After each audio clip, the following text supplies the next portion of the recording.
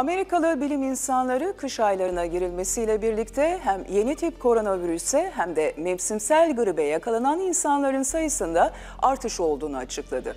Uzmanlar bugünlerde çok yoğun olan hastane kapasitelerinin ve sağlık çalışanlarının yükünün artacağı konusunda uyardı. ABD'nin Ohio eyaletinde yer alan Valley Sağlık Departmanı'ndan bilim insanları, kış aylarına girilmesiyle birlikte aynı anda hem yeni tip koronavirüse hem de gribe yakalanan insanların sayısının arttığını açıkladı.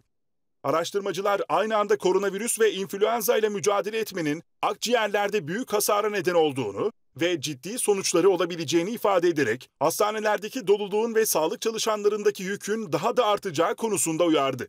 Kurumun direktörü Rebecca Eaton aynı anda iki hastalığa yakalanan insanların vaka yönetimi sayesinde tespit edildiğini belirtti ve hastanede tedaviye ihtiyaç duyan hem COVID-19 hem de grip hastalarının varlığını doğruladı. Ancak iki hastalığı aynı anda geçiren kişilerle ilgili değerlendirmelerin devam ettiğini söyledi.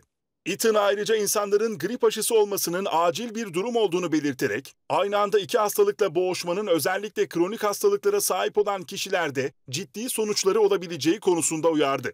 ABD'nin Florida eyaletinde aile hekimi Dr. Adrian Browse konuya ilişkin yaptığı açıklamada aynı anda grip ve koronavirüsün bağışıklık sisteminde büyük hasara yol açabileceğini söyledi.